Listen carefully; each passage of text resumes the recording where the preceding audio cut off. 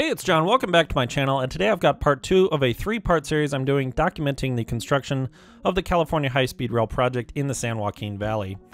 Uh, this video will focus on Construction Package 2-3, which, as the name implies, uh, is the combination of two previously unconnected uh, construction packages that were joined in an effort to save time, but it appears like that may have actually kind of backfired. Uh, so Going forward, I don't think we will see construction packages that are quite this long. Uh, CP23 is actually 65 miles in length, and it extends from just one mile north of the Tulare-Kern County line up to a thousand feet short of the East American Avenue grade separation just south of Fresno. So, a number of factors have uh, contributed to the cost of CP23 rising uh, originally, it was estimated to cost 1.3 billion dollars. Uh, it is now looking like it's going to cost about 2.1 billion dollars. And uh, like I said, we will see a number of structures uh, and delays and utility relocations have gone into raising the uh, dollar amount for this section of construction. Nevertheless, uh, CP23 does have a number of large structures that are in various states of completion and it appears like um, the majority of construction is happening on the northern end of CP23. The southern end, it, it, kind of as you go through the the valley itself, there's there's more water on the north end, and so there's more development. There's more roads, more canals, and uh, as you go further south, it becomes less and less populated, but also uh, the fields become more and more sparse. Obviously, you can see this section that we're going through uh, is an orchard uh, that a significant amount has been cleared for high-speed rail, but uh, keep in mind the high-speed rail right-of-way is only about 100 feet wide, so it's not too large, especially compared to uh, some of the other large roads in the valley like I-5 and SR-99. Here we come up to the first grade separation, which is uh, Avenue 24. I believe this will be an undercrossing similar to uh, the agricultural undercrossing uh, just north of Avenue 8 in CP1. But uh, it'll be good because there's not a whole lot of roads that go through here, and this is one reason why I didn't document this portion of the project last year, is because it's very remote. um, it was very difficult getting this footage. Uh, a lot of driving on what may or may not have actually been roads. And uh, but nevertheless, I'm glad to document the entire uh, CP23 for your viewing pleasure.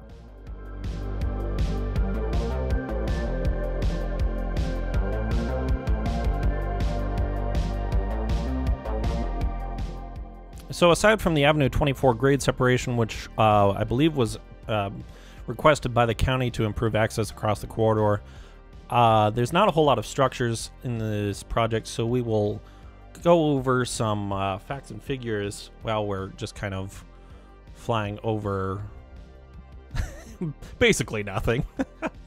so 29% of the cost increase has been related to time delays. Uh, that would be including land acquisition as well as engineering. Uh, in fact, CP23 as of last year was only 70 some percent completed uh, engineering completion. So 70% of the engineering was completed, but that is all supposed to be completed by the end of the year, this year, 2021. So I believe the majority of the project has been in, designed out. And uh, there are, you will see parts of that where uh, no work has been completed. So there was obviously some delay, uh, particularly around the Deer Creek Viaduct and the Cross Creek Viaduct uh, north of Hanford. But uh, I will note those when we uh, come up to them. Never, uh, nevertheless, 29% uh, has been time impact of the cost increase has been time delays, and 71% were uh, change orders. The largest change order is related to uh, agreement settlements and time impacts. So again, likely right-of-way acquisition or dealing with utility contractor or utility owners. Uh, behind that, uh, the single largest project to raise the cost of this project was the Hanford Viaduct. Originally, the tracks were supposed to go through Hanford at grade, and uh, for various reasons, it was decided to switch to a an elevated uh, viaduct, which will be four tracks and uh, 6,000 feet in length through Hanford, which of course we will see in this video. That alone cost $109 million. Uh, third party re- utility relocations has costed $90 million. Keep in mind, some of these, when, yeah, when we talk about utility relocations, you know, the first thing that probably comes to mind is like maybe water lines or something cable, fiber optic that seems like it shouldn't be too difficult to relocate, particularly in undeveloped areas like the uh, San Joaquin Valley. But some of these projects are very complicated, especially in cities. Uh, sewer relocations, it can be kind of amazing sometimes how complicated that can be. Uh, if you have to lower a sewer line or raise a sewer line, you might have to build a pump house to pump it through the relocated area. So, uh, utility relocations, it sounds benign, but it can actually uh, really trip up a project. So here we are at the Avenue 56 grade separation, and as you can see, a little more than uh, clearing of the right-of-way has occurred, but it they have graded out a temporary roadway for Avenue 56 while the grade separation is being built. This, I believe, will be a typical grade separation, just a uh, highway-style bridge over the tracks, but uh, you can see where that uh, temporary alignment of Avenue 56 has been located.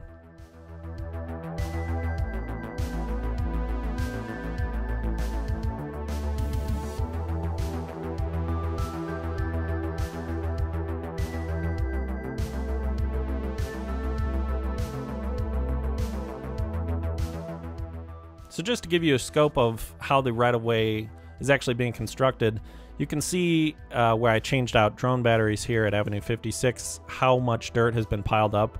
The high-speed rail right-of-way is typically about 10 to 15 feet higher than the existing grade, and that is because uh, whenever it does rain in the Central Valley, uh, because it's basically a bowl from its former life as an inland sea, uh, the water doesn't really have much place to go, so flooding is quite a problem in the valley. And of course, the California High Speed Rail, uh, with the, all of the problems they're having getting it built, is not keen on having the tracks wash out. So, along the right of way, it's being it's being built up, obviously, and also dozens and dozens of culverts are being built under the right of way to allow water to flow freely and not impact the uh, the track bed, bed itself.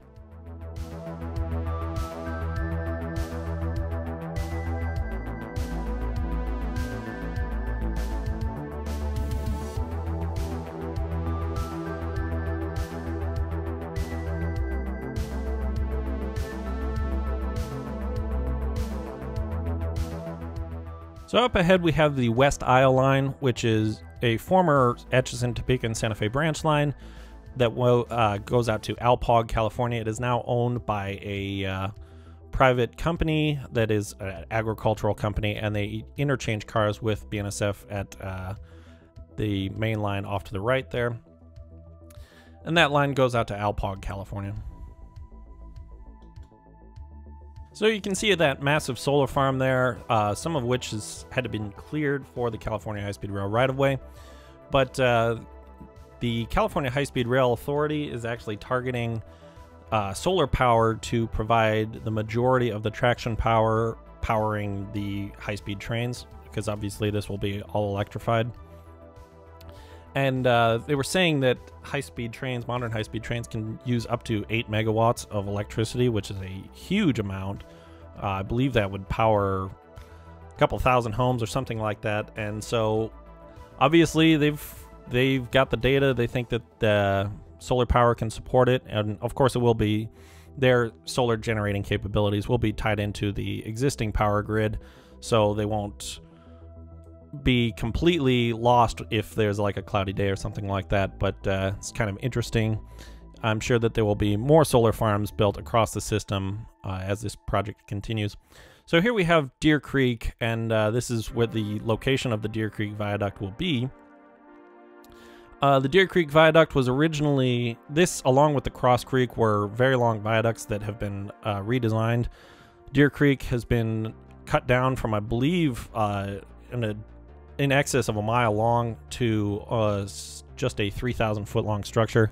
I would imagine the original uh, design of that viaduct included a single viaduct structure spanning the West Isle line as well as the Deer Creek. But uh, looks like they've cut that down to save money, obviously, and uh, probably replacing the space between the West Isle line and Deer Creek with uh, elevated fill dirt embankment, which is good to see them trying to save costs uh, because obviously, yes, the cost of the project has uh, gone up significantly from the 2008 uh, projection of $32 billion, but nevertheless, that doesn't change uh, the importance of this project. So here, uh, I'm sure that section that we just passed over uh, was a victim of possibly delayed right-of-way acquisition or and certainly design changes. But here we can see where the right-of-way paralleling the BNSF tracks and uh, Highway 43, the right-of-way has actually been cleared for high-speed rail. And uh, it's definitely a theme with uh, construction package 2-3. There are a ton of dry canals uh, along this section of the right of way. So it remains to be seen how many of these canals will actually are still in use and have to be relocated, particularly in the Hanford area. But nevertheless, we can see a canal off to the left that has, I believe, been relocated as part of this project. So here's the first actual real sign of construction in CP23, and this is the Avenue 88 grade separation. You can see that the bridge is basically complete, walls are complete and everything, uh, but the road approaches on either side have not yet been paved. So here is something that I thought it would be kind of fun. I actually rode a San Joaquin back from Bakersfield to Oakland because I wanted to see these sections of the high-speed rail line that uh, parallel the BNSF tracks for myself. And here we can see the train going underneath uh, the Avenue 88 grade separation. Uh, this the view that you're seeing is the back of the Siemens Charger locomotive, and of course it has that aerodynamic uh, spoiler fin type thing, uh, because it's usually going to be mated to a superliner, which we were riding on, but uh, the coach between the Charger locomotive was, and the superliner one that we were riding on, was a uh, Horizon coach, the ex New Jersey Transit cars. So if it had been a superliner, we probably wouldn't have been able to get that view. So it just kind of worked out serendipitously uh, that I was able to get that footage, and we'll be seeing a couple more spots along that in this video. But anyway, we can see the existing alignment of Avenue 88 uh, and the grade crossing over BN at BNSF, and of course this road will be removed once the bridge is complete.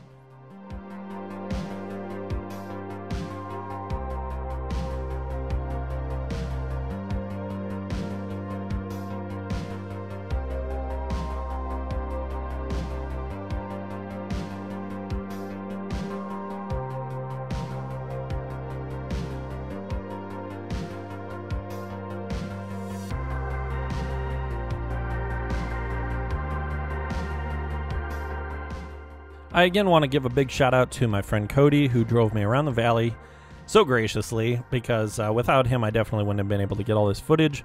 Certainly wouldn't have been able to get all this footage in the two days uh, that we were able to film this all in.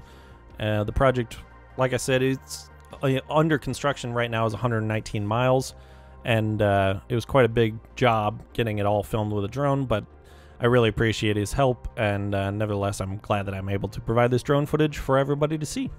Because uh, I still get comments from people that think that uh, the you know, project has been completely canceled, and of course, that's not the case. Uh, there hasn't been any new construction prod, uh, construction packages signed uh, with contractors since Gavin Newsom kind of uh, used his power to prevent that from happening, but uh, nevertheless, the California legislature still has about $4 billion allocated for California high speed rail, and construction is still moving forward. Hopefully, the legislature will get on the ball and uh, release those funds early next year. I believe their session has actually been completed this year, but uh, this is a very important project. If you hadn't seen my previous video kind of overviewing the project. I am a very strong supporter of it and I hope to see great things happening in the future with regards to completing this project because obviously um, the project was not designed to go from Merced to Bakersfield. Uh, that will be kind of phase one opening uh, when the right of way actually gets built out and the, the tracks get laid and the electrification gets built.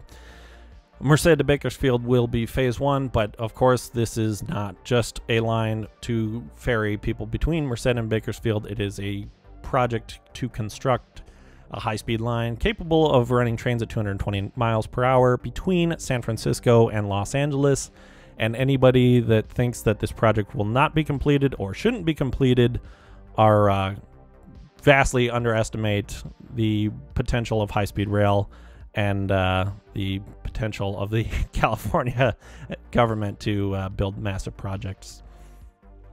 So here we are through the ghost town of Angiola, and I believe uh, that you, that old facility on the right will be removed, and I I would imagine that uh, these grain elevators will be relocated to the opposite side of the tracks, the east side of the tracks. But uh, I'm sure that there's probably been ongoing uh, issues with the uh, the facility there and uh, potentially BNSF, and so not a whole lot of work has been ongoing through here. Avenue 12 will be uh, a grade separated road, as will Avenue 120 up ahead. Here is a significant canal that will have to be decked over or culvert built, and uh, potentially, when these culverts are built, temporary canal alignments have to be built. So nothing, nothing is simple about this project, um, and it's not to say that everything is inherently more complicated because it's high-speed rail. It's just building anything uh, conventional railway or highway included will have to, or Hyperloop, if you're one of the uh, kind of disciples of Elon Musk, any project going through the Central Valley will have to contend with the same factors that California High Speed Rail is, and that will make any project being built to connect the two cities extremely expensive. Um, I also want to elaborate on the misconception that airplanes are sufficient to it's a, a, a, sufficient transportation option for the residents of California. And uh, there's still so many people that believe that Cal- California high speed rail should have been built along the I 5. Uh, it's really a dead horse at this point, but nevertheless, I guess I will give my opinions on it. Uh, when I was booking the trip that I just went on out to Seattle, I also went down into California, and um, yeah, there's not a whole lot of options for airplane travel. The only city that California High Speed Rail will serve in the valley that has airline access, commercial avi- airline access, is Bakersfield, and there's like a couple of flights a day to San Francisco, and I guess that's great if you're in Bakersfield and want to commute at kind of business hours, but uh, high speed rail will be a much more kind of transformational project because it will provide all day service. It might not be at the five minute headways that the line will support, especially from day one, but nevertheless, it will provide more consistent service linking the actually linking the cities in the Central Valley, like Bakersfield and Fresno and even Hanford, whether or not they want the line built. But that's kind of a moot point at this point because uh, the line is definitely uh, in full swing construction. And also, uh, as far as bypassing the Central Valley towns like Hanford or Fresno and Bakersfield, uh, with the I5 alignment, it really kind of misses the fundamental point of this project, which is to stimulate the economies in the Central Valley because as you may be able to tell from the footage, like the the roads that were paved like 60 years ago, it's it's the same asphalt. and in a lot of places and some places roads that were previously paved have kind of been reduced back to gravel roads or dirt roads because the pavement has just deteriorated. Uh, there's not much investment going on in the Central Valley, and it is kind of dying a slow death, particularly in the face of climate change. So, uh, I want to just interrupt myself real quick, here we are at the Tule River Viaduct. Uh, this will be a significant structure spanning the Tule River right there, and it will ha- also have a pergola structure to bring the tracks, the high-speed rail tracks, over the BNSF and Highway 43. Here we are back on the San Joaquin, and you can see that uh, Pacific Rim Dairy off to the left, which is a former uh, dairy that was closed, um, and you can see all of the uh, the construction preparation that is going, uh, all the material staging off to the left. Here is the actual Tule River, and you can see the many pilings are being built, drilled simultaneously for this huge pergola structure. Uh, this structure will be a similar size and scope to the uh, say like the Wasco Viaduct or the uh, San Joaquin River Viaduct, it won't be quite that long, but it, nevertheless, it will be a huge structure. So we can see that progress has definitely been going on in the month or so between the drone footage and this footage that I just captured on the train.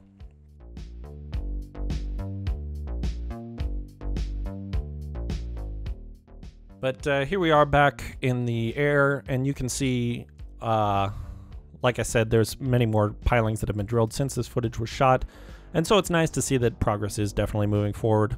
Also, keep in mind all of this drone footage was filmed on the weekend, uh, over Saturday and Sunday, so there wasn't a whole lot of work going on in the drone footage because obviously it was the weekend. So I've had some comments uh, saying that there's no actual work going on, which is a sign of the project being failed or something, some nonsense along those lines. Anyway, you can see that uh, SR43 has been temporarily realigned uh, to allow construction of this pergola structure to go forward. Here at Avenue 144, I believe the road was actually closed west of SR43 because of the uh, construction. And uh, just north of Avenue 144, we see this massive culvert structure, uh, cast in place culvert, which is being still framed out in this video. But uh, to go back to what I was talking about uh, originally, um, yes, the I five uh, route would bypass all of the Central Valley cities, and uh, again, like I said, it completely misses the point of the project, which is to invest large amounts of money across underserved sections of the state in the San Joaquin Valley and eventually, when the line is extended up to Sacramento, uh, the, uh, the Central Valley as a whole. Because the uh, towns and cities across the Central Valley uh, have really not received the same, even percentage amount of investment that uh, the large cities in California have received as far as state and federal money go. But the whole point of the California High Speed Rail project is to invest in historically underinvested communities and build new housing because California has so such a large house, uh, housing demand that is not being met by uh, current market conditions, and to open up new economic opportunities to com- the communities like Fresno, Hanford, Bakersfield, uh, that you know going forward with, from this pandemic, it it, who knows what the future of work may hold. But uh, I, I doubt people will be commuting from Bakersfield to the Bay Area five days a week. That even on high speed rail is kind of ludicrous. But, uh, you know, if people only have to go into the office maybe one day a week, that might seem a lot more attractive. You know, maybe people can live in Hanford and have that, you know, kind of country living feel and then pop into the city once a week or maybe even less, you know who knows? Either way, I know that uh, the project will stimulate uh, economic investment in these communities that it serves through. It's basically impossible that it won't. And that, that is one reason why I fully support this project in its current form, going through the San Joaquin Valley and linking the cities of Fresno and Bakersfield to the Bay Area and uh, Los Angeles. I'm not going to say that I you know people are necessarily wrong, but it is a little bit tiring hearing all of the um, seeing all the negative comments that I get on these videos from people that fundamentally kind of don't understand what this project is trying to do and how absurd it is that high speed rail is seen as such an like un unknown but also like impossible thing to be built in the United States because obviously this country is still the wealthiest country in the world. And uh, high speed lines have been built around the world and to varying degrees of success, but nevertheless, they it, it is very possible to build a high speed railway. The only problem is that we basically don't have one. I mean, yes, the Northeast Corridor typically, uh, technically has high speed sections in you know Connecticut or not Connecticut, but Rhode Island and New Jersey. But and so yes, there is a learning curve adapting foreign high-speed rail technology to American railway standards uh, and seismic standards. Uh, being here in California, but uh, somebody's got to be first, and California is leading the way. I'm not saying that nobody else can do it. I'm looking forward to uh, Texas Central beginning construction, hopefully sooner rather than later. I think that's a fantastic project that's very exciting, and I very much look forward to it happening. And when they do start working on it, you better believe I'm going to make videos about it. Uh, but yes, California is just kind of taking all the heat because they are first, and uh, they're working the bugs out and jumping through all the regulatory hurdles with the FRA and various other stakeholders. So it's yes, this project isn't perfect, but it I it's a good project in my book. So so as we're coming into Corcoran, you can see a number of roads that will be rerouted or uh, realigned to allow the high-speed rail construction. You can see that new canal culvert has been built. I believe that obviously the high-speed rail tracks will cross over that, but some combination of roads, including Orange Avenue here off to the right, and Wascana Avenue, uh, just north of that canal, will be realigned around the tracks. I believe only one bridge will be built in Corcoran, or at least in this section of Corcoran.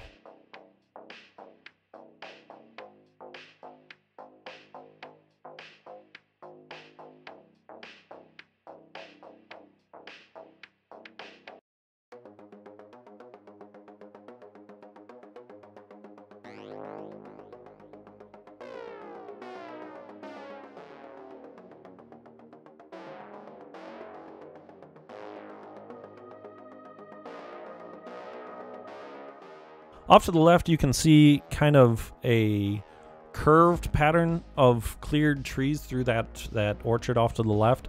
Uh, that will be the actually the future route of this canal that we're crossing over.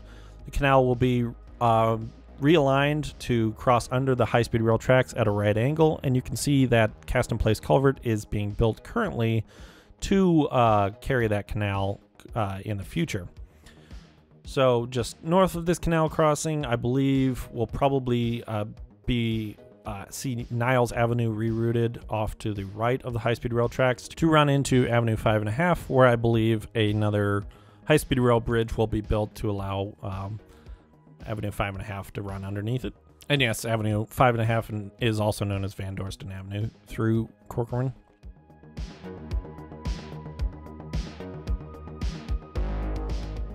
Not exactly sure what's going to happen here at Newark Avenue. Uh, if there will be another bridge built, I uh, I just don't know. it might be rerouted off to the left side of the right of way. Uh, we will just see going forward. It's kind of hard because I've spent so much time combing through the environmental impact reports. Uh, but then again, there's also been so many change orders, so knowing exactly what's going to be built, uh, particularly up here north of uh, Corcoran, we will see another area that has been basically untouched because it's been going through various design changes. But uh, getting a sense of what's actually going to be built without seeing the project in place uh, on the ground is kind of tricky in some cases, particularly through Corcoran.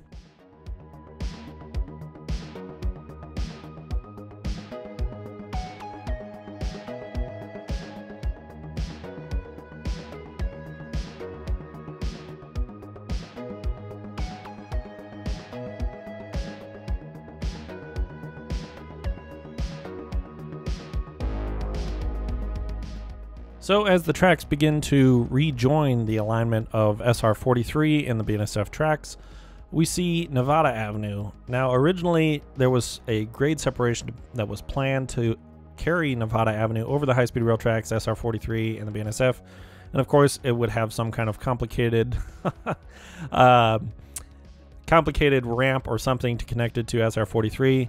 And then, of course, we have these two canals. And for all these reasons, it looks like the Nevada Avenue grade separation has been axed, and uh, Nevada Avenue will dead end at the high speed rail tracks. Uh, I'm sure that simplifies construction because obviously the uh, building the, the, culverts to cross over those canals is going to be quite complicated in and of itself. So here we'll take a brief pause to see a BNSF train crossing the uh, Nevada Avenue. This is obviously uh, an intermodal train, so some kind of Z train, possibly heading to Barstow and points east, maybe Memphis or Chicago, something like that. It's kind of impossible to see, to know just based on the uh, containers, but likely headed in that direction. So here we have another solar farm. Uh, obviously, I don't believe this is owned by the California High Speed Rail Authority, but certainly this section where the panels have been removed is. Um, I don't know exactly how many solar fields uh, will have to be built to support the demands of the High Speed Rail Authority, but uh, nevertheless, I'm sure they will probably be built near the tracks if possible. So it'll be interesting to see going forward uh, where and where those are built out and how how it's all going to work. Here's yet another canal crossing. Obviously, this one is in use, but uh, like I said, there's there's a ton of canals around here that are appear to be dead, but uh, that may they may just be seasonal canals. It's uh, really hard to know, and even even finding the names of canals can be uh, pretty difficult sometimes. Uh, here is what was originally the start of the Cross Creek Viaduct, which was going to be basically in excess of two miles long, but that has been shortened to only 2,500 feet long. Nevertheless, uh, a bridge will have to be built over SR 43, and you can see that even though SR 43 is a two lane road right now, there has been provisions in place to widen it to four lanes someday. So, this high speed rail bridge will have to bridge the entire four lane right of way. Uh, and because of the design changes with the uh, shortening of the Cross Creek Viaduct, which was going to actually have a, a really cool steel truss bridge over the actual Cross Creek. But uh, because that whole thing has been axed and redesigned, uh, I believe it will just be a short bridge over the SR 43 and earth filled embankment connecting uh, the, S- the bridge over SR 43 to the Cross Creek Bridge, which, like I said, will be about 2,500 feet long. So, probably about where these pipes are is the, uh, the start of the Cross Creek Viaduct.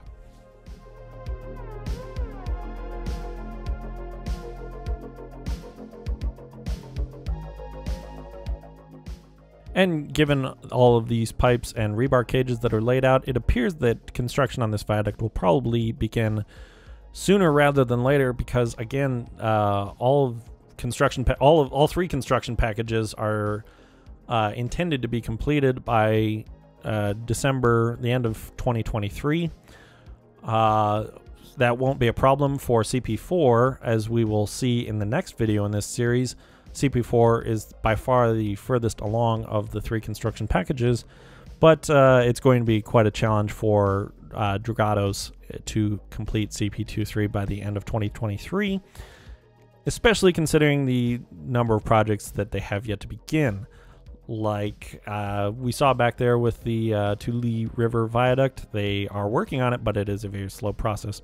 Here we see a canal crossing, and uh, you can see that uh, there was a, a, precast box culvert in parallel with the uh, cast in place culvert that is completed. So it's it's pretty interesting to see how many how many canals there are out here. It's pretty incredible, and also because of all of these canals Hanford, is, uh, or the area around Corcoran, excuse me, is the kind of epicenter for the Central Valley sinking because uh, so much groundwater has been pumped out of the Central Valley that the land has sunk in some places like 12 to 15 feet. It's, it's pretty incredible, actually, that there isn't more uh, damage to existing infrastructure. Obviously, there's been some isolated incidents with bridges and whatnot, but Obviously, the High Speed Rail Authority is keeping that in mind and designing accordingly. So here we have the Lansing Avenue grade separation, which I believe will be some sort of underpass or something like that. Uh, it'll be interesting to see that going forward. Doesn't appear to be much work in that area.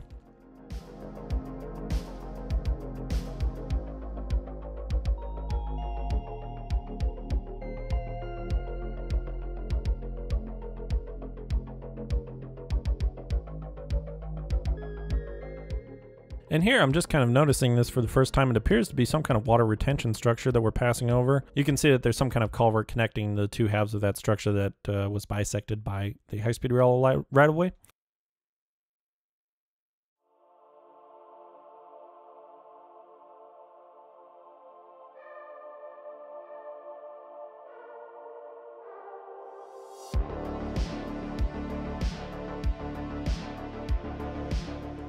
But anyways, just ahead is the Kansas Avenue grade separation. And uh, this, uh, as well as the Kent Avenue grade separation just to the north of it, are places where the bridges are done. The road bridges are complete, but the bridge has not been opened yet because of ongoing utility relocation, at, which we can see off to the right side of this bridge. Um, not exactly sure which type of utility it is, but we can see that new uh, canal culvert there. So that likely was part of it, and as well as the power lines, which appear to still be in place there. So I'm sure that uh, as soon as those utility relocations are complete, we will see that ramp finished, and uh, we'll see the road paved and traffic shifted onto the new grade separation.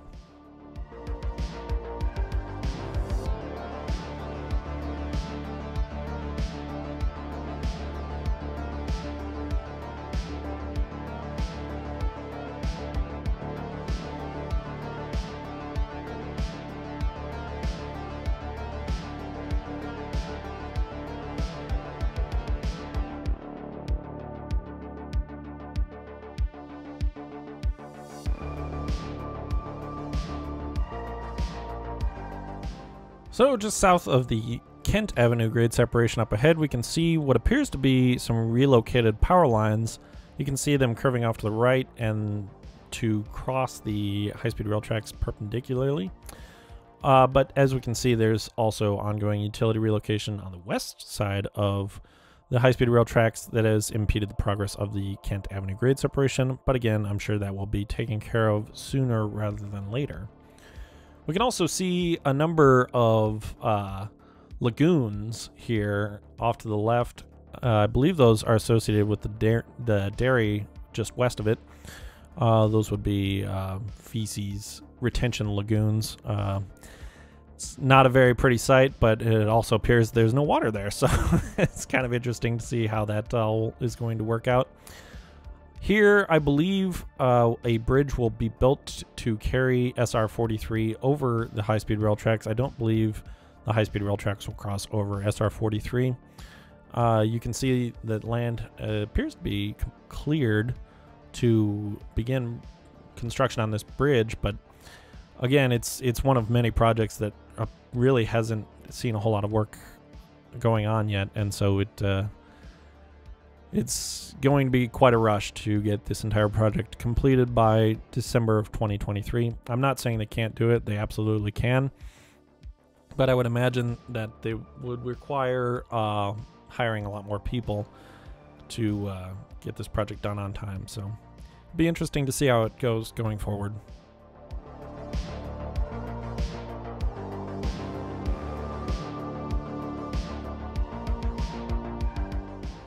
And I'd like to say that I'll be doing one of these updates every year, but as you may have noticed by how long it's taken to get this video out, uh, is quite a quite a big project. This is quite an undertaking, and I'm I'm glad that I, I did it. I wish I would have gotten it out sooner, because this footage was you know filmed in August, and it's now October, late October.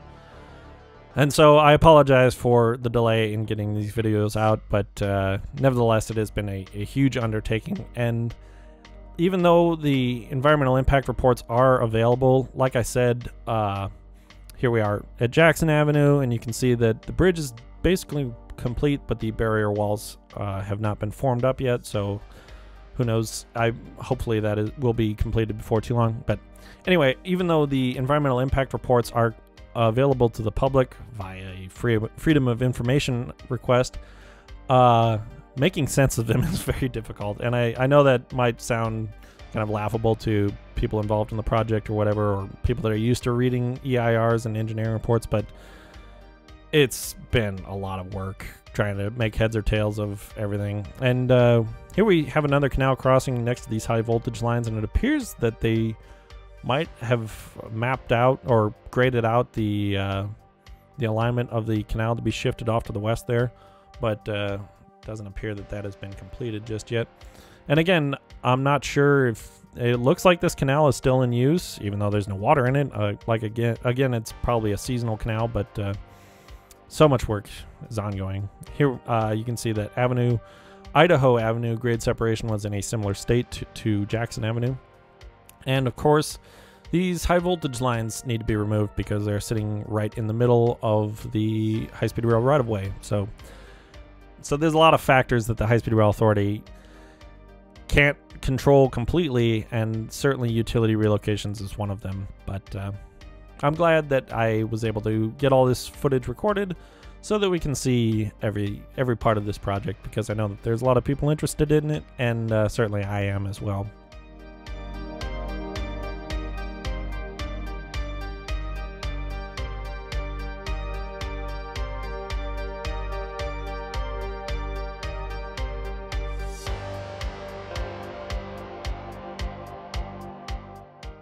I believe Iona will have a grade separation, but it may that may have been cut. So I, I put that card in there saying grade separation because I believe it will still be completed, but uh, Iona Avenue may be one that is actually closed. I'm not 100% sure, but again, we will see as the project continues.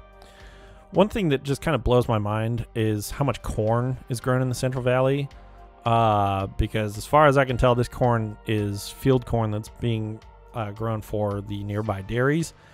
And uh, obviously, it makes sense to somebody, or else they wouldn't be growing it. But uh, yeah, the Midwest grows a, a, ton of corn, and I'm I don't know if field corn is necessarily the most important crop that could be grown with California's very limited water resources, but hey, I'm I'm not making the decisions. So uh, anyway, just kind of funny to me because from like Nebraska to Pennsylvania. I mean, it's all corn, so I don't know how much corn we need. But anyway, here Houston Avenue will receive a grade receive a grade separation. I believe it will be probably a conventional one, uh, but uh, again with that canal in the way, I'm sure that has complicated issues as well as the high voltage lines. I'm sure that has all led to progress being slow on that grade uh, grade separation, but. Nevertheless, in two years, I'm sure it will be done. So.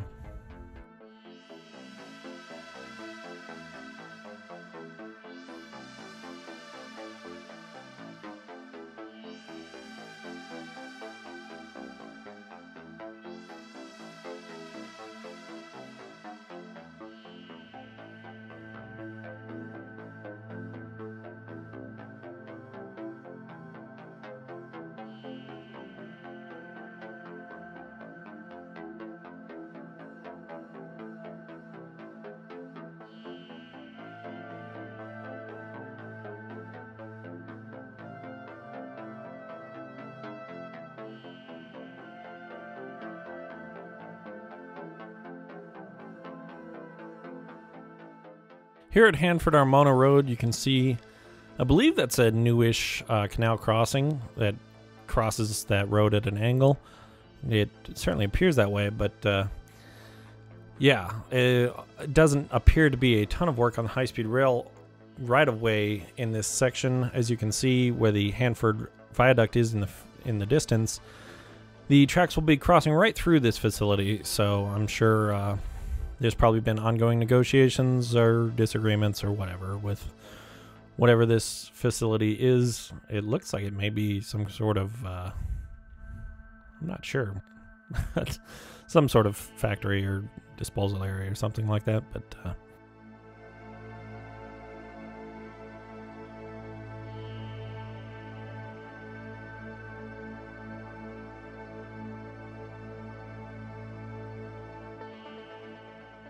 Anyways, here we are at the biggest project on CP23, which is the 6,000 foot long Hanford Viaduct. Now, like I said, this was, again, it was originally planned to bring the high-speed rail tracks into Hanford more or less at grade, but uh, that was changed, and it the change to make it in a completely aerial viaduct has added $109 million to the project. But uh, you can see that as it uh, transitions from two tracks to four tracks, the station will actually be located on this viaduct. It will be known as the Kings Tulare Regional Station or something like that. But uh, nevertheless, it will uh, be, I'm sure, used by people of Hanford and uh, Visalia off to the east. Here we have the uh, where the high-speed rail tracks cross the San Joaquin Valley Railroad, which is a short line uh, that interchanges with both Union Pacific and BNSF. And off to the left, we can see the precast concrete facility where all the precast concrete elements used on CP23 are manufactured. That uh, was kind of an innovative uh, move on the uh, Dragados joint venture project, uh, building their own precast concrete facility instead of utilizing existing ones, because obviously they realized they could save money, but more importantly, I I'm sure there probably wasn't the capacity to build as many precast concrete girders and everything else uh, culvert segments that they would need on this project. So, and here at the north end, uh, just south of Grangeville Boulevard, I brought it up in my overview video. Uh, it appears that there might have been some redesign work going on. Uh, some people have mentioned that that large amount of soil was there to compact the soil, as is often done in construction when a large amount of soil needs to be compacted, uh, dirt is just piled up and left there for you know sometimes weeks or months, however long the engineers determine it needs to be left there. But anyway, uh, after the Hanford Viaduct, we transition back to an elevated dirt embankment, and uh, we have several more grade separations north of Hanford that will be completed. It would have been really nice if a road like Avenue 7.5 off to the left extended along the entire California High Speed Rail right away that would make filming this with a drone about a thousand times easier, but uh, I guess that's what adds to the fun of the whole process. so anyway, here at Fargo Avenue, uh, we have ongoing construction. You can see that the piers are being uh, formed up, and I'm sure that uh, construction has moved on since this was filmed. Uh, with those, um, the design of most of these bridges uh, is and uses the precast concrete girders. So I'm sure that this bridge will be no different. Hence the uh, need for that precast facility that we just passed. And uh, a little bit north of here, we'll see another, uh, like a, a, precast concrete girder storage facility for the uh, for the Conejo Viaduct. So uh, that's that'll be kind of interesting. Of course, we'll I'll point it out when we get there. But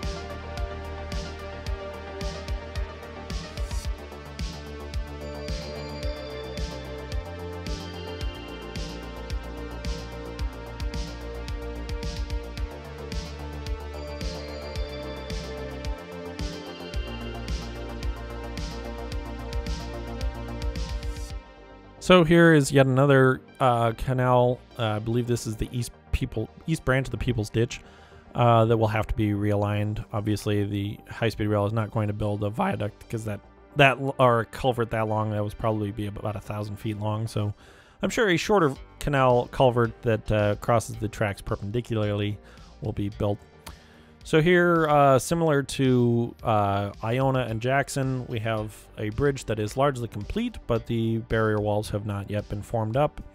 So I'm sure that uh, Dragados is probably packaging these projects together to have uh, maybe the same people working on them so that have same laborers that get really good to kind of manufacture these elements in kind of an assembly line type thing. I would imagine. I may be completely wrong, but it kind of appears to be what's going on there. So I'm sure that scheduling for all of these projects is kind of a nightmare, especially considering all of the factors like utility relocations, which are kind of out of both the contractors and the High Speed Rail Authority's hands.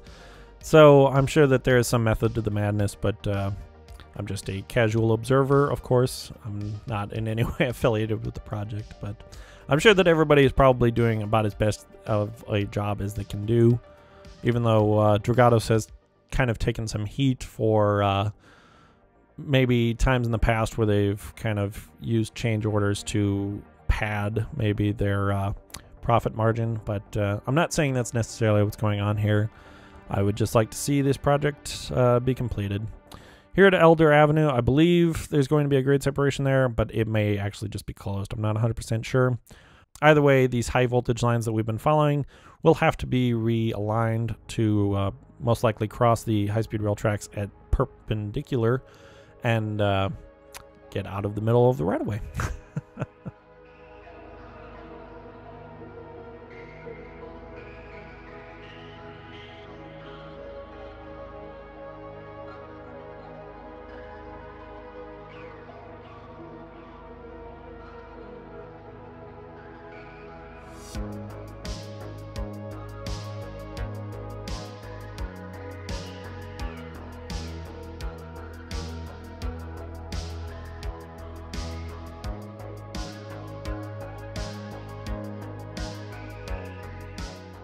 Here at Excelsior Avenue, we can see, uh, just like Kent and Kansas avenues before this, uh, the bridge is completely finished, but ongoing re utility relocation uh, is affecting the completion of the west approach ramp, and uh, therefore the road is not paved and the bridge is not yet open.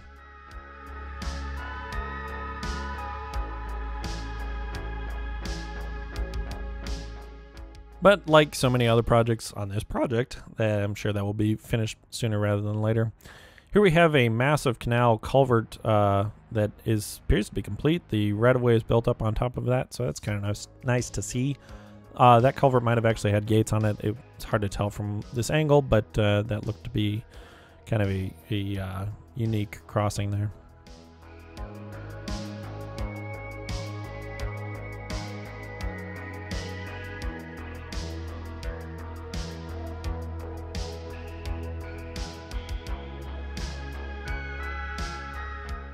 And take a look around. Uh, like I said earlier, as we get further north, uh, there's more water because we're getting closer and closer to the Sierras. And so there's more orchards and more fields in general that are actually populated with plants. Here at uh, Dover, 8, Dover Avenue and 8th Avenue, you can see that this rather complicated grade separation is being built. And uh, Dover, or 8th Avenue, excuse me, is being uh, swung east of the high speed rail tracks to form two T road intersections. Now, I know these grade separations uh, have drawn a little bit of criticism from uh, outside observers of this project and critics of this project, but uh, nevertheless, keep in mind that this the whole Central Valley and San Joaquin Valley has been built out on a grid with county roads basically every mile in both directions, and uh, these roads are used by slow-moving agricultural equipment as well as you know people that live out here and work out here. And the high speed rail authority is bisecting the valley and creating a lot of barriers as it is and closing even more roads than the project is already calling to close is would just not not work. Um, the agricultural vehicles and traffic need to get around to access the different fields and they also need uh, road access to carry their uh, products to market. And in all in all, I mean this this whole area has been pretty well developed. So it's it might seem like you know maybe a waste of money in some places building these very complicated grade separations, but uh, keep in mind the authority is is doing what they have to. I mean, they, they just can't close roads. It's this is this is America, and, and so like it's it's hard to compare building high speed railways in America with the, the rest of the world because most countries are not built up to the level that the United States is with county roads every mile like forever. Obviously, in the non agricultural parts of the West, uh, that's not necessarily the case, like in the mountains, of course. But in agricultural areas, it, it, it it's just the way of life. I mean, they, they just can't close roads, basically. Anyways, we just passed over the Kings River, which will, of course, have a large viaduct uh, carrying high speed trains over it. And here at Caro Avenue, we can see that the grade separation is being basically completed. The wing walls are being framed out, so I'm sure that uh, if this if Caro Avenue isn't yet reopened to traffic, it will be before too long. You can also see the MSE retaining wall is being uh, built there as well. So kind of unlike some of the other grade separations we've seen on this project, particularly in uh, CP1, uh, the 8th, 9th Avenue has not been realigned. A second viaduct is actually being built over 9th Avenue. And I would hazard a guess that's probably be because 9th Avenue is a rather busy road. You can see that it's paved, which alone makes it a busier road. But uh, yeah, we can see that the deck is being, uh, the rebar is laid there. So I'm sure progress on that bridge is even further along now.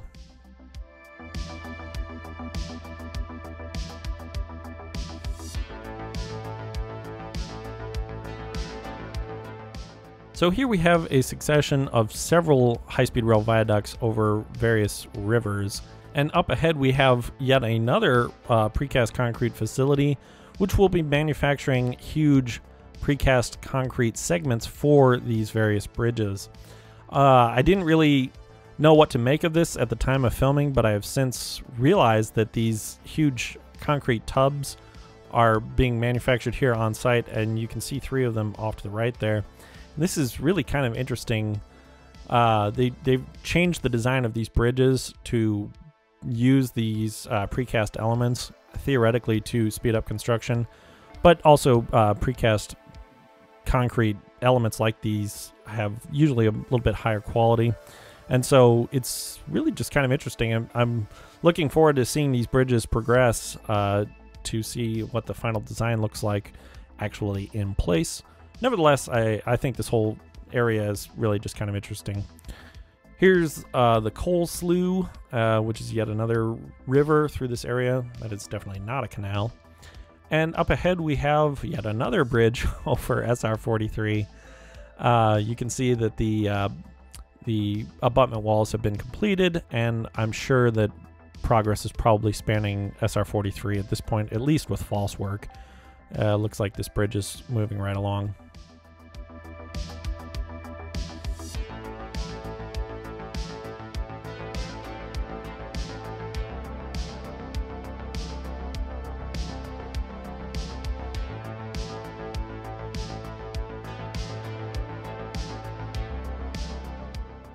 Off to both the left and the right, you can see what are massive dirt borrow sites.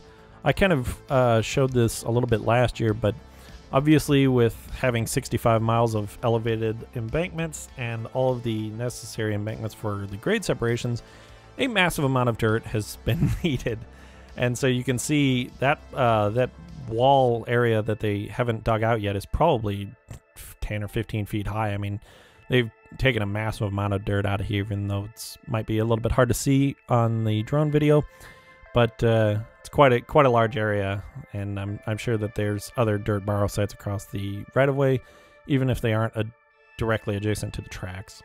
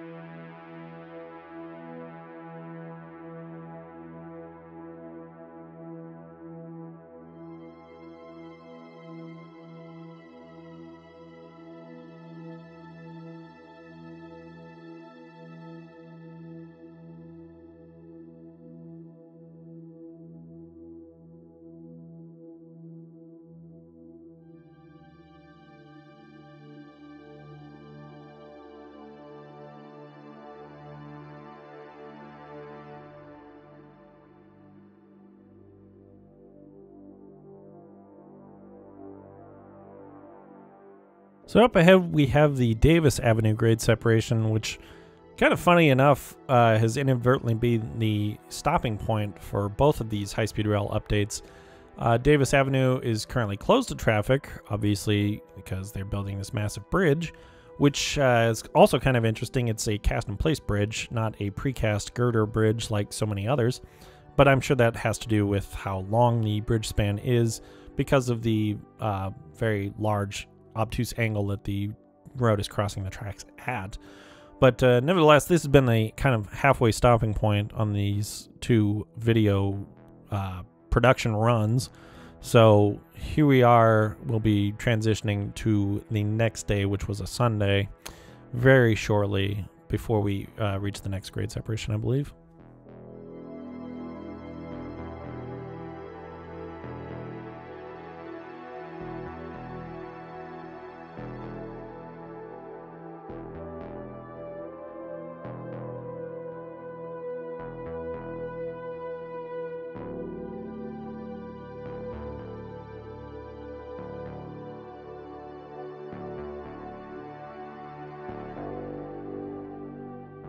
Also, keep in mind, I've gotten several comments saying that uh, because of all of these curves, which may appear to be too sharp to support high speed trains, uh, some people are thinking that the trains won't actually be able to achieve their intended uh, top speed of uh, 220 miles an hour or 186 miles an hour from day one. And uh, I may, I may be eating crow someday if the trains I have to slow down on these curves, but I would hazard a guess the High Speed Rail Authority has factored that in uh, based on operating or curve radiuses from other high speed rail systems. And I, I don't think that they would make such a foolish maneuver. So, I mean, keep in mind, we are probably at this point like 300 feet in the air. So everything may look kind of distorted and appear to be a sharper curve than it actually is. Um, but here we have, yeah, the two grade separations at Fowler and Elkhorn Avenue, uh, which don't have any bridges being built yet, but a massive amount of dirt has been built up on either side.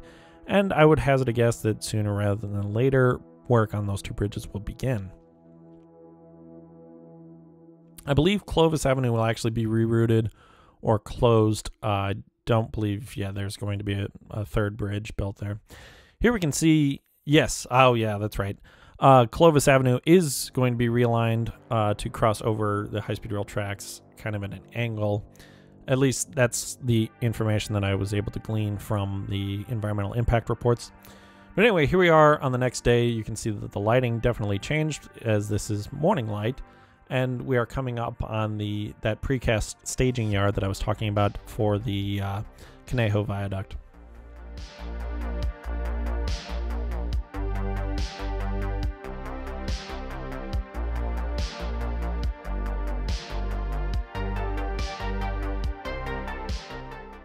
So Mini Minnewawa Avenue will be rerouted off to the west side of the high-speed rail tracks on the left there.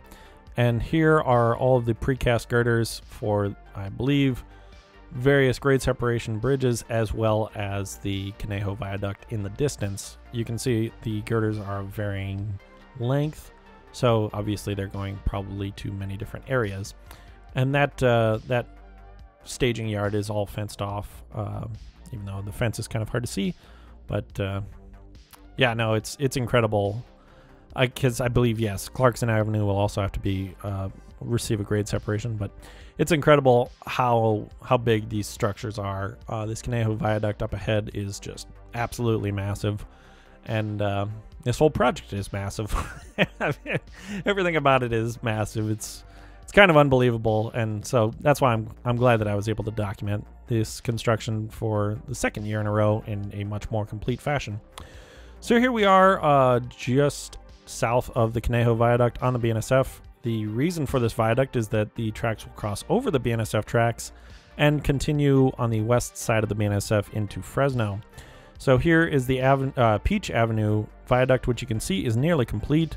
It appears that the rebar for the barrier walls has been installed, but the walls have not yet been framed up. Uh, here are the BNSF rock cars for the upcoming uh, BNSF trackage realignment, which we will be able to see from the air. but you can see that construction is definitely in full swing. We had to get talked through Form B in this area, and uh, that this is just an absolutely massive structure. um, we in this next video in CP4, we will actually see uh, the view of from the San Joaquin that I was riding going under the Wasco Viaduct. So it will be a similar structure to this Conejo Viaduct. So make sure you subscribe and uh, see that video when it comes out. I will get it out as soon as possible, I promise. But either way, you can see that rebar for the deck for the Peach Avenue Viaduct has been installed there. And uh, they may have actually poured that deck at this point. I'm not 100% sure, but nevertheless, you can see where those rock cars were located is a new siding that BNSF has built, likely to offset the track relocation that we will see a little bit north of here. Um, but nevertheless, yes, this Conejo Viaduct is massive, and uh, here's Conejo Avenue, and the town is called Conejo, hence the name of the viaduct. So.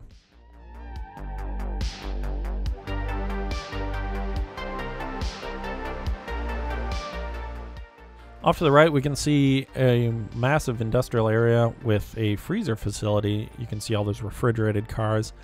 I'm not exactly sure what is coming out of here, but uh, it may be uh, processed uh, fruit or something like that from from the valley. Obviously, the days of the Pacific Fruit Express are long in the past, but nevertheless, a massive amount of food is still transported by rail, at least non-perishable food or you know semi-perishable food that uh, can last more than a few uh, a couple of weeks on the on the train. It might not take that long, but it, it likely does to get it across the country and uh, offloaded in into stores. So, not exactly sure what uh, what is all being grown here, but you can be rest assured that they're growing everything under the sun, basically. and uh, it appears that uh, that road has obviously already been closed, and that cul-de-sac that we just passed over will be realigned.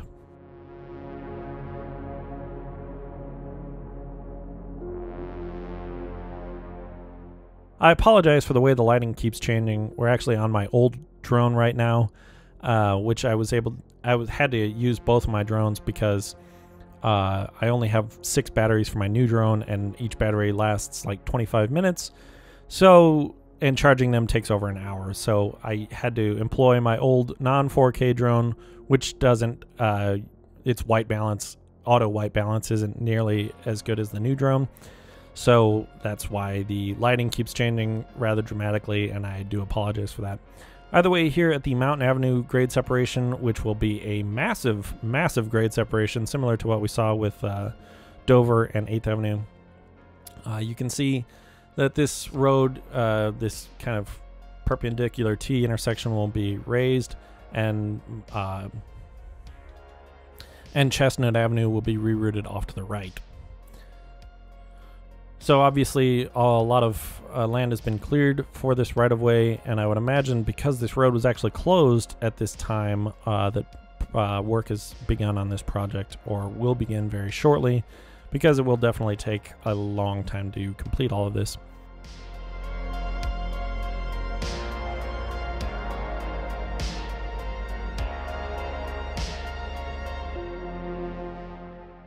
We can see that a massive culvert has been built to carry that canal under the future intersection, but you can see, yeah, the, the footprint of this grade separation is going to be huge. So, uh, yeah, it's...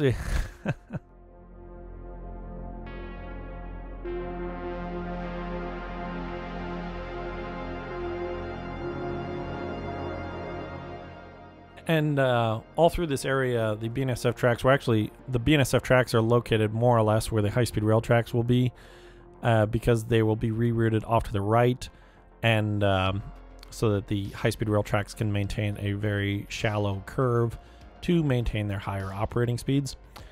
And up ahead is yet another solar installation, a relatively small one that will have to be somewhat removed. Some of the panels will have to be removed to make space for the high-speed rail tracks, which you can see off in the distance, just north of Nebraska Avenue.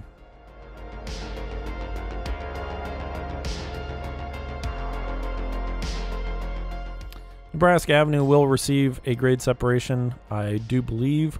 Uh, it's a pretty busy road, as you can see from all the traffic. uh, but it doesn't appear that much work has been going on yet.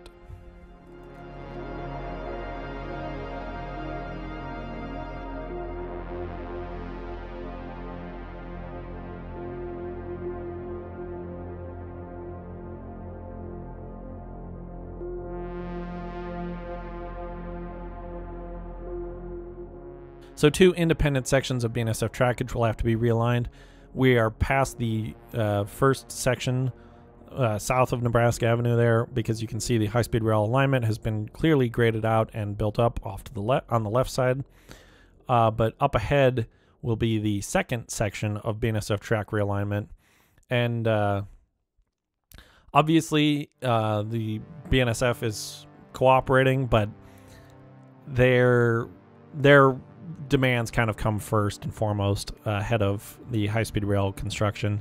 So I know there has been uh, some delays due to both BNSF and UP, but particularly BNSF with the San Joaquins and all of the traffic coming between northern South Cal- northern and southern California. This line is very busy, and uh, BNSF has canceled many Form Bs to keep uh, access trains access to their right of way limited and so that trains can keep moving. Um, but uh, nevertheless, this will be completed at some point. And uh, we can see all of the track up ahead has been skeletonized, uh, where they that's what they the term they use when they have the ties laid out and the rail installed, but the ballast has not been installed. That uh, little switch off to the right is a temporary switch, a hand throw switch and that is how new freight tracks are constructed in this country. Um, those temporary switches will be installed on the on the main, and to allow the rock cars that we just saw from the San Joaquin ride to access the new track and begin dumping rock so that the new tracks can be surfaced. But uh, up ahead, uh, there's still a grade crossing where the tracks have not been installed in the roadway yet, and so the uh, tracks are not yet connected.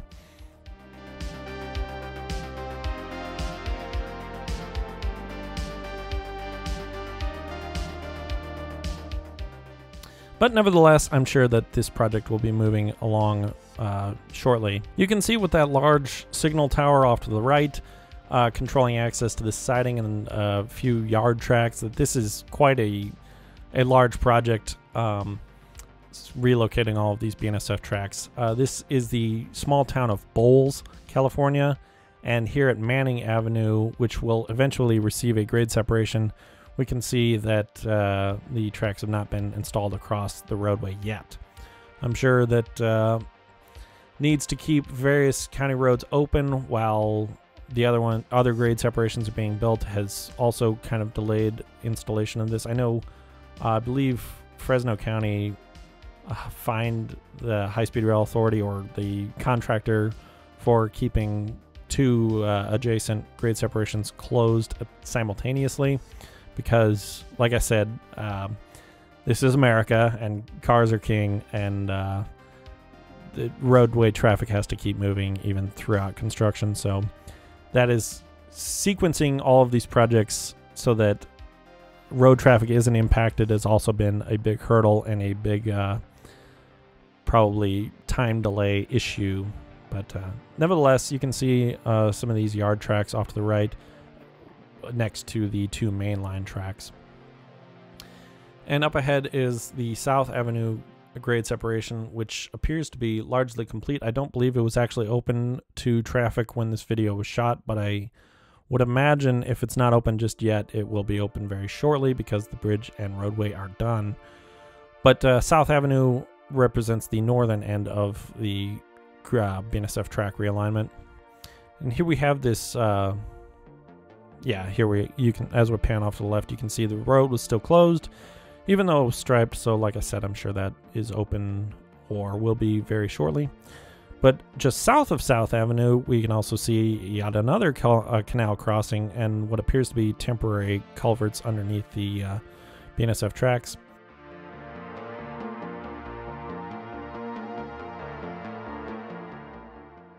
Here we are back on the San Joaquin and passing under South Avenue, so we can see that, yeah, not much has changed since the drone footage. But uh, You can also see that red flag off to the right indicating that we are entering a Form B because I believe that uh, this uh, crossover that we're about to traverse is also being relocated north. We, uh, there's a southbound San Joaquin uh, with a similar configuration of the train that we're running, even though it had a different locomotive. And uh, here you can see the new crossover with the signals that have not yet been cut in. So this will make a lot more sense once we return to the air. But uh, we can also see that more work was ongoing at the next grade separation, which is known as Adams Avenue. So, like I said, I'm sure that uh, the tracks not being laid across Manning Avenue for the BNSF track relocation has been impacted by South Avenue being closed and potentially by Adams Avenue being worked on as well. But uh, but yes, you can see that these crossovers are high-speed turnouts, so likely uh, good for at least 50 miles an hour. And uh, that's going to be replaced with a new crossover, a new high-speed crossover just north of there. So I, I'm sure that this is in some way re- uh, associated with the track relocation.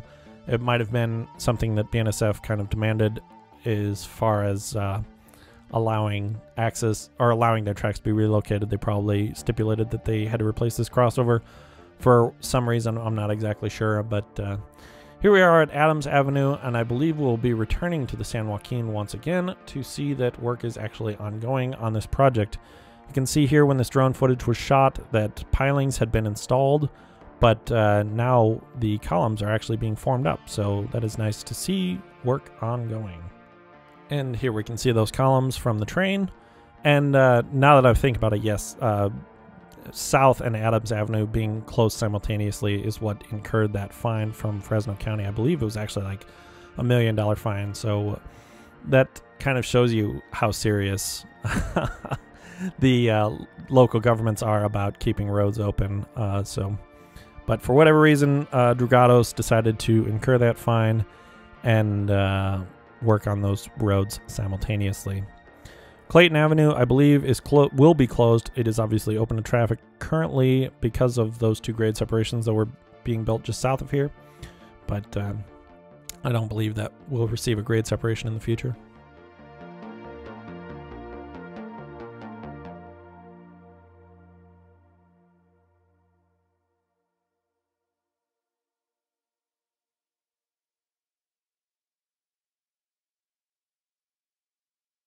Lincoln Avenue, I believe, will be replaced with uh, a grade separation as well.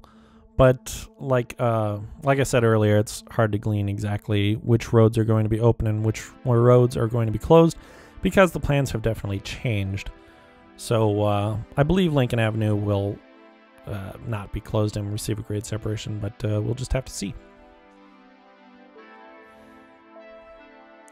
So off to the left appear to be more offices associated with uh, CP23 because, like I said, CP23 ends uh, 1,000 feet south of East American Avenue, which is the road off in the distance. So I believe these offices are associated with Dragados and the CP23, uh, but I, I, may be wrong. This may be uh, CP1 already. Either way, uh, we are nearing the end of CP23 and because we are approaching the East American Avenue grade separation. So thank you so much for watching this video. I really hope you enjoyed it. Sorry if you didn't like my rambling, but uh, if you if you made it this far, it's probably too late to tell you, but I will be uploading all three construction packages, the drone footage, into one long video, which will probably be about two hours long.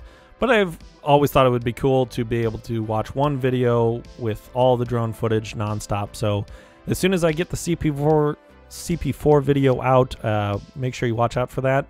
But uh, I'm going to just let this video play out with a little bit more of the San Joaquin cab ride uh, through this area and up towards the Cedar Viaduct just north of here in CP1. Um, let me know if you want to see more of this San Joaquin uh, kind of quote unquote cab ride video. I didn't record the whole thing, but you can see that uh, there is some of the intrusion protection barrier wall being built. 17 miles of uh, barrier wall will have to be built as part of CP23 to protect uh, the high-speed rail tracks from freight train derailment incursions and vice versa, even though it's obviously much more likely on the high, uh, freight railroad tracks. But uh, yeah, let me know if you want to see more of this video. I'd be happy to upload it. And uh, it's yeah, it's nice to see the the uh, the right of way from a different perspective. I'm glad that I was able to make it down to Bakersfield and uh, ride the San Joaquin back. But anyway, I've talked enough. Thank you so much for watching. I will let this video play out. Uh, if you want to see more, subscribe, like, blah blah blah, share. Yeah, you, you know the drill. Thank you so much for watching. I really appreciate it, and I will see you all soon.